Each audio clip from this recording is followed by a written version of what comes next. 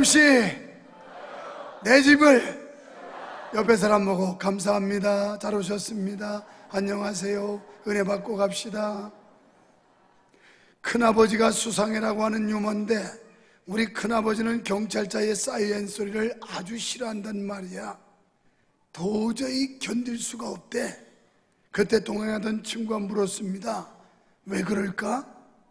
그때 다시 말하기를 큰아버지가 말하기는 자기 일에 큰 방해를 받는데 나쁜 짓 하니까 경찰서니까 출동하면 기분 나빠할 사람들. 오늘 하나님의 말씀에 사이렌 소리가 들릴 때 우리는 긴장해야 되고 정신 차려야 되고 하나님 앞에 믿음을 바로 세워야 될 줄로 믿습니다. 본신은 하나님께 감사라는 권면으로 이루어졌습니다. 본신은 1년의 감사시들 105편, 107편, 108편, 135편, 136편 가운데 마지막 말씀입니다. 본세를 몇 달락으로 나눌 수가 있는데요.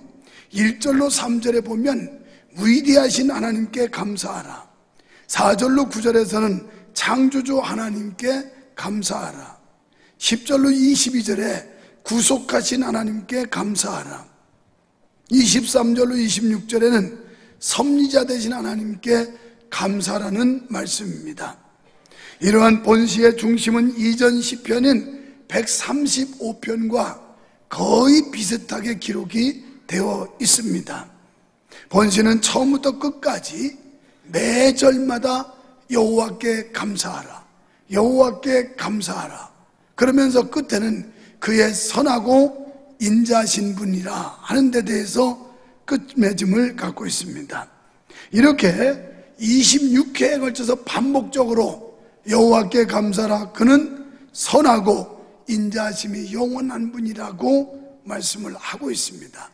어떻게 보면 반복되는 용어들이 있어서 상당히 지루한 감을 느낄 수도 있게 됩니다.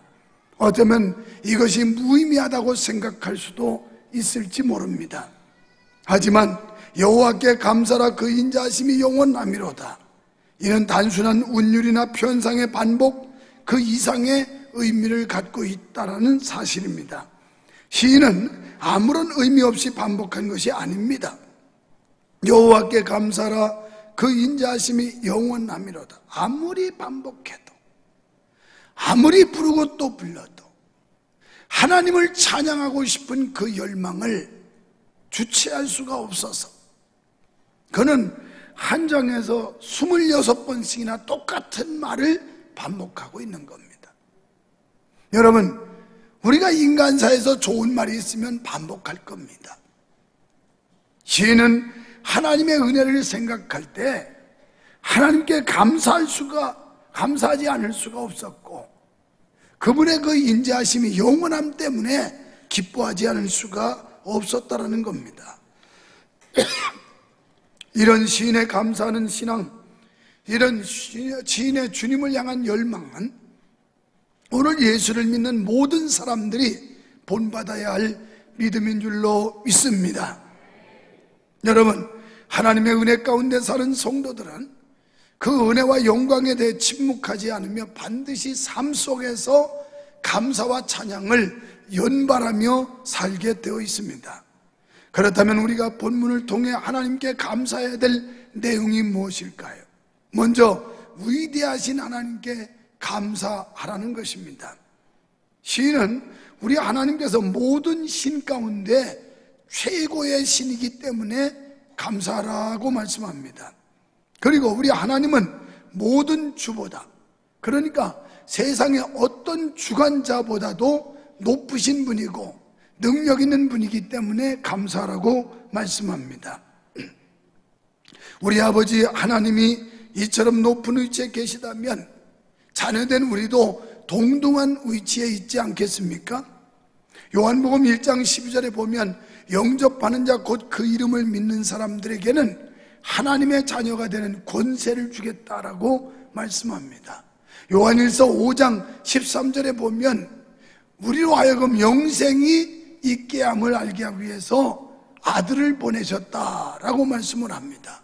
또 14절에서는 우리가 담대할 수 있는 소지가 있는데 그의 이름으로 무엇이든지 구하면 하나님이 주신다는 겁니다.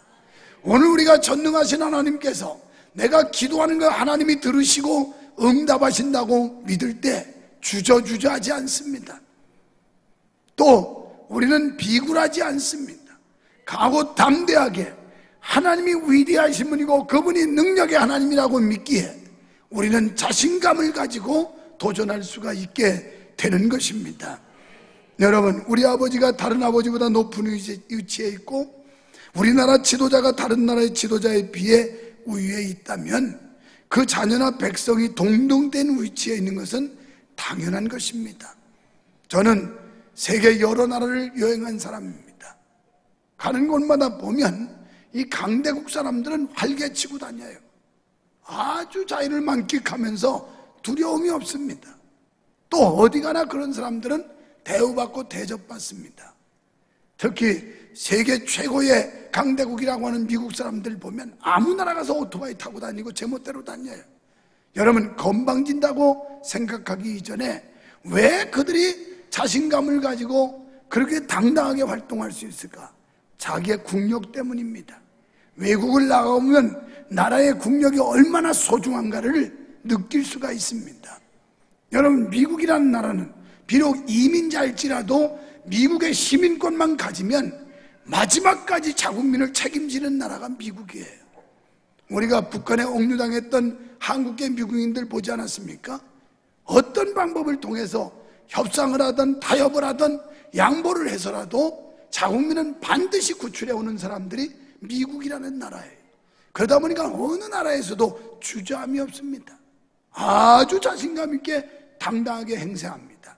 바로 이보다 더한 하나님, 이보다 위대하신 하나님, 능력의 하나님이 우리의 아버지인데 그분의 자녀됨을 여러분이 믿는다면 우리는 비겁할 수 없습니다. 자신감과 용기와 자긍심 가지고 당당하게 어떤 환경도 어떤 상황도 맞서 싸워 이길 수 있는 줄로 믿습니다. 본문에서 하나님이 최고의 신, 최고의 통치자라는 표현은 그분 외에는 누구도 없다는 겁니다. 그래서 주 예수보다도 귀한 분은 없네 이 세상 부귀와 바꿀 수 없네. 영축을 내 대신 돌아가신 그 놀라운 사랑 잊지 못해. 세상 즐거움 다 버리고 세상 자랑 다 버렸네. 주 예수보다도 귀한 번은 없네. 예수 밖에는 없네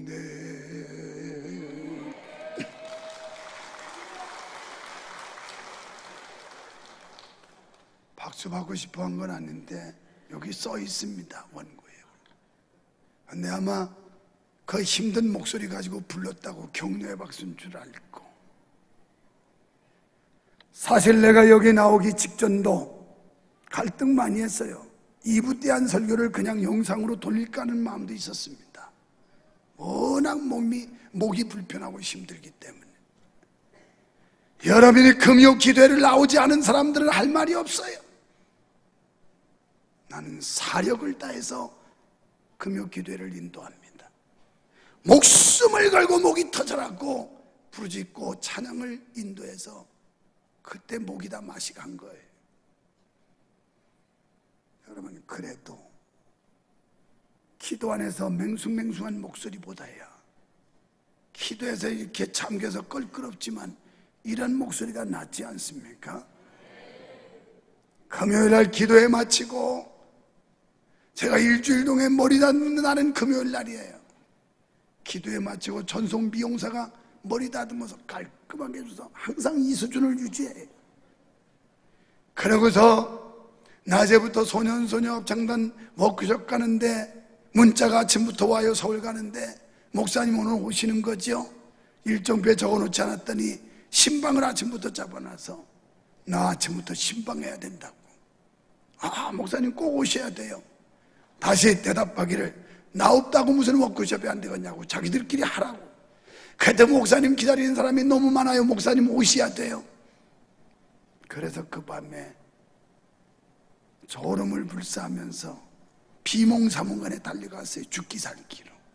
새벽에 도착해서 예배인도 해주고 또 신방 때문에 올라오는데 얼마나 졸음이 몰려오는지. 이야 사람들 인정머리 없더라고요 내가 금요 기도회 때 내가 혼자 가게 됐으니 우리 집사람이 손주들 양육 안 할 때는 같이 다녀서 교대 운전했는데 오늘 밤에 죽으나 사나 내가 혼자 가야 될 판이 누구 같이 동행할 사람 없냐 그랬더니 미련도 없이 인정사정 없이 다 도망가 버렸어요 나 혼자 운전하고 가는데 서산아이 지나갔더니 그때부터 눈을 감는 건 아닌데 정신이 자고 있는 거예요 거리 감각도 없어지고 점점 점점 그래도 하나님이 아직은 쓸만해서 처박지 않고 살게 해서 오늘 이 자리에 섰어요 그래서 목이 그런 거예요. 처음 온 분들 알지도 못하고 아이고 이게 목사님의 목소리가 저래. 이보다 더 좋으면 뭐예요? 이보다 더 좋으면 여러분 주 예수보다 귀한 분 없는 줄 믿으시기 바랍니다. 세상 부귀 영화 세상 잠을 다 버리고 그리스도 한 분만으로 만족한 삶이 되기를 예수의 이름으로 축원합니다. 그러니 우리가 이러한 사실을 느끼는데 어찌 찬양하지 않을 수가 있겠습니까? 이런 은혜를 깨달은 사람이 어찌 감사하지 않을 수가 있겠습니까? 여러분, 이 시가 쓰여질 당시 고대에는 나라마다 수많은 잡신들이 있었다고 합니다. 고대 메소포타미아에는 1500개의 신이 있었다고 그러고 그 외에 바벨론이라든가 이집트, 아수르, 이스라엘 주변 국가들로 모두 다신들이 지배를 하던 그런 시대였습니다. 그러나 이런 것들은 다 우상이었어요. 사도행전 19장 26절에 보면 사람이 지은 것은 신이 될 수 없다는 겁니다. 그리고 출애굽기 3장 14절부터 보면 여호와 하나님은 지음 받은 자가 아니라 스스로 계신 분이라고 말씀하고 있습니다. 두 번째는 창조자요 섭리자인 하나님께 감사해야 됩니다. 시인은 하나님께서 세상 우주 만물의 창조자 섭리자이시기에 감사해야 된다고 말씀하는데 하나님은 만드시고 관리하시는 분이에요. 이 세상의 모든 만물을 지으시고 관리하십니다. 여기서 하나님께서 창조주가 되신다는 것은 모든 인생들이 살 수 있는 생활 공간을 주셨다는 말씀입니다. 그것도 인간들이 호흡하고 살아가기 한치의 부족함이 없는 완전한 자연 환경을 말입니다. 바로 이런 삶의 공간을 주신 하나님을 찬양하고 감사하는 것은 당연한 것입니다. 여러분, 어찌 보면 이렇게 지극히 당연한 걸 보고 감사라는 게 이해가 안 되실지 모릅니다. 내게 땅에 있고 하늘이 있고 그리고 아침이면 해가 뜨고 저녁이면 해가 지고 달이 뜨고 이 자연의 원리는 자연이 돌아가는 건데 뭘 그걸 보고 감사하느냐고 이렇게 반론을 제기하거나 반문을 할지도 모르겠습니다. 그러나 이런 환경이 저절로 이루어지는 것이 아닙니다. 오직 하나님께서 우주 만물의 창조자가 되시며 지금도 살아계셔서 역사하시고 만물의 질서를 주관하시기 때문인 줄로 믿습니다. 여러분의 일상생활 가운데 이런 하나님의 주권적인 섭리와 손길을 세세하게 느낄 줄 알아야 됩니다. 이런 하나님의 주권적 섭리가 있었기에 우리는 우리의 수고한 대로 땅의 식물을 얻고 또한 그 풍성한 식물을 통해서 아름다운 삶을 영위할 수가 있게 되는 것입니다. 본문 24절로 26절의 내용은 이런 상황을 신학적으로는 일반 은총이라고 그럽니다. 그러니까 하나님께서 자연을 지으시고 햇볕을 비춰주시고 비를 내려주시고 하는 이 모든 자연의 섭리는 이 땅에 태어난 인간들 모두에게 공평하게 주시는 은총을 일반 은총이라고 그래요. 그래서 일반적으로 이건 기독교인들만 누리는 게 아니라 비기독교인, 이 땅의 모든 인간들은 누릴 수 있는 자연 환경입니다. 그런데 이처럼 하나님의 은총을 누리는 모든 인간은 하나님을 찬양하고 감사해야 될 의무가 있는데 이사야 43장 21절에 보면 이 백성은 내가 나를 위하여 지었나니 나의 찬송을 부르게 하려 함이니라 아멘 우리가 하나님께 영광을 돌리고 하나님을 높이게 하기 위해서 우리를 지으셨다라는 거예요 이런 은혜를 깨닫는다면 우리는 어떤 형편에서도 감사할 수 있고 어떤 환경도 우리는 믿음으로 이길 수가 있는 줄 믿습니다. 우리 교회 요새 놀라운 역사들이 일어나면서 어떤 분은 4월 달에 등록한 새 가족입니다. 등록하고 그분은 매일 새벽 기도를 나와요. 그러다가 오늘 여러분 나눴던 이 카톡 글 뉴스에서 소개했는데 지난 금요일 날 기도에 참석했다가 엄청난 폭포수 같은 은혜가 임했어요.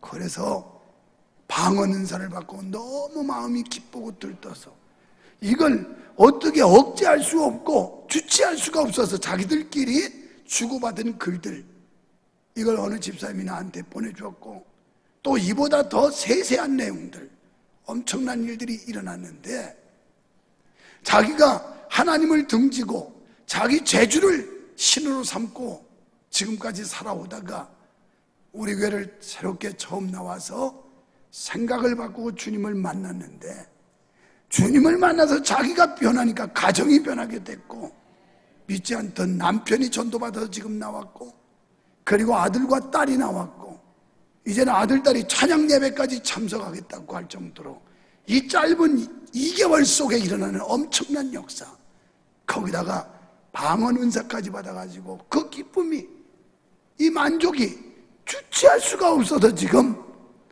흥분과 감동의 삶을 사는데 이제는 주님을 만나고 보니까 세상이 달라 보인다는 거예요 세상이 오늘 여러분이 주님을 만나야 세상이 바뀌어지고 세상이 달라 보이지 주님 못 만나면 목사가 돼도 장로 권사가 돼도 여전히 똑같습니다 오늘 이 자리에 오신 여러분 꼭 주님 만나시기를 축원합니다. 방언 은사는 별건 아니에요. 은사 중에 가장 초보적인 은사가 방언 은사예요. 그런데 여기 방언 은사 받은 사람보다는 못 받은 그런 사람들이 훨씬 많아요. 옛날에 유명한 부흥사요 기도원의 한 세대를 좌우했던 어느 목사님이 야 이것들아 방언도 못 받으면 개만도 못한 인간이다 그건 개도 받는 방언을 방언도 못하냐? 기도해야 방언을 받지요. 기도해야 은사를 받지요. 기도 안 하고 맹숭맹숭하니까 하나님을 만나지도 못하고 체험하지도 못하고 이 기독교는 체험의 종교인데 체험을 해야 하나님이 살아계신 걸 알 거 아니냐 이 말이에요. 사랑하는 여러분, 어떤 계기를 통해서든 주님 만나시기를 축원합니다. 주님 만나야 삽니다. 주님 만나야 세상이 바뀌게 보입니다. 주님 만나야 가정이 변합니다. 주님 만나야 교회가 바뀝니다. 주님을 만나지 못하면 교회 오는 발걸음도 무거울 수밖에 없어요. 주님 만나지 못한 자는 이 가운데 앉아 있어도 처량하기 그지 없을 겁니다. 주님을 만난 사람은 갈 길을 밝히 보이시니 주 앞에 빨리 나갑시다. 그 발걸음이 얼마나 가볍고 기쁜지 이런 은혜가 있기를 축원합니다. 세 번째는 구속하신 하나님께 감사라는 거예요. 아까 이 자연 섭리 속에 누리는 일반은 종이고 수많은 사람 가운데 하나님이 우리를 선택해서 하나님의 자녀되게 하신 것은 특별한 종이에요. 하나님이 예정하신 선택받은 사람들, 이 사람들이 구원을 받는 건데 시인은 우리를 구속해 주심에 감사라고 하면서 많은 부분에서 하나님께서 하신 많은 일들을 열거하고 있어요. 출애굽의 역사, 홍해를 마른 땅까지 건너게 했던 기적, 그리고 광야에서 먹이고 입히시던 하나님, 이런 걸 기억하고 감사해라. 그래서 여호와께 감사라. 그의 인자심이 영원하다. 이걸 반복적으로 계속 지금까지 받은 은혜, 지금까지 주신 축복, 주님의 사랑 이런 걸 생각하고 감사라는 거예요. 이스라엘은 작고 약한 나라였지만 하나님께서 함께해서 지켜주셨고 인도해 주셨습니다. 여러분 마찬가지입니다. 오늘 우리가 구원받는 것은 전적인 하나님의 은혜임을 믿습니다. 그리고 여기까지도 오시고 인도해 주셨어요. 우리가 잘나가고 똑, 잘나고 똑똑해서가 아니라 하나님의 무한하시는 종으로 우리를 구원해 주신 거예요. 그것도 이 땅에서 뿐만 아니라 영원한 하나님의 나라까지, 천국까지 우리를 안전하게 인도하실 줄 믿습니다. 그러니 이런 은혜를 깨닫는 사람은 눈을 떠도 감사하고 눈을 감아도 감사하고 그러다 보니 아침에 또 예수로 눈을 뜨게 하시고 저녁에 또 예수로 눈을 감게 하시니 예수님 내 주여 내 중심에 오셔서 주님 한 분만으로 만족하옵니다. 옛날 우리의 믿음의 선배들은 그렇게 가난하고 헐벗었어도 이런 노래 부르면서 늘 천국 생활을 맛봤는데 요새는 이렇게 풍요로운 세상에 살면서도 감사가 말라 빠졌어요. 하나님의 은혜에 보답할 줄도 모르는 메말라 빠진 심령들. 오늘 이런 영혼에 성령의 단비가 임하고 감으로 메마른 땅에 단비 내듯이 하나님의 영이 임하는 이 시간 되기를 축원합니다. 감사의 영이 임하시기를 축원합니다. 여러분 사도 바울은 2차 전도 여행할 때 빌립보 전도하다 잡혀가지고 무수히 맞고 만신창이가 돼서 빌립보 감옥에 갇혀요. 정말 처량하고 절망적이고 원망스럽고 내가 하나님 일을 했는데 왜 하나님이 나를 안 지켜주고 이 지경 만들었을까 한탄할 수밖에 없는 그런 상황이었어요. 그런데 바울은 신라와 함께 밤중쯤 되어 하나님을 찬양하고 기도했다. 이게 믿음이에요. 좋을 때 감사는 누구나 할 수 있어요. 지금 여러분의 현실이 녹록지 않습니까? 여러분의 상황이 긴박합니까? 그리고 여러분의 입장이 급박합니까? 이때 하나님께 바울과 신라처럼 감사하고 찬양하고 기도해 보세요.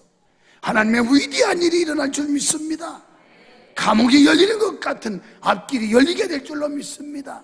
여러분을 묶고 있는 각종 이 악한 영들이 떠나가게 될 줄로 믿습니다. 이게 성경이 우리에게 주는 교훈이에요. 3차 전도 여행 시 로마 옥중에 갇혔을 때 빌리보 교회에 또 편지를 보내요. 기뻐하라고. 주 안에서 기뻐하라고. 우리 마음속에 예수님이 계시면 어떤 상황도 극복할 수 있고 어떤 환경에서도 기뻐할 수 있지만 내 마음속에 주님이 계시지 않고 텅 비어 있으면 우리는 공허할 수밖에 없고 낙담할 수밖에 없어요. 그리스도의 영이 우리 속에 들어와서 좌정하고 계시고 충만할 때 우리는 어떤 위험도 어떤 위협도 믿음으로 맞서 싸우고 이기게 될 줄 믿습니다. 그리고 대살로니가 교회도 또 편지를 보내요. 거기도 기뻐하라고. 그 당시에 교회 다닌다는 게 교회마다 핍박당하고 얼마나 어려웠는지 몰라요. 그래서 기뻐해라, 기뻐해라, 감사해라, 감사해라.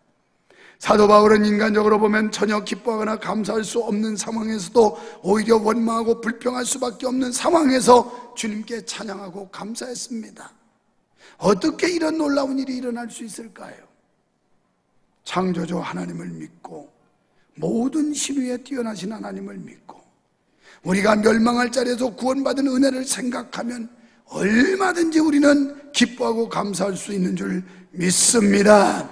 성경의 부인들은 하나같이 역경 속에서도 감사한 사람들이었습니다.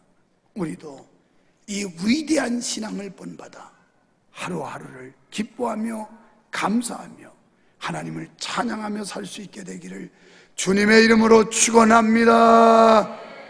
이제 곧 부르게 될 날마다 숨쉬는 순간마다 이건 여러분 예사로 부르지만 제가 어제부터 마치 조개가 그 고통 속에서 진주를 뽑아내는 것처럼 이 선곡하는데 얼마나 어려움이 많은지 몰라요. 그래서 오늘 새벽에 묵상하면서 아주 떠오르잖아요. 5시 넘어서 음악 목사에게 보냈어요. 바로 오늘은 설교 후의 찬송이 이거다.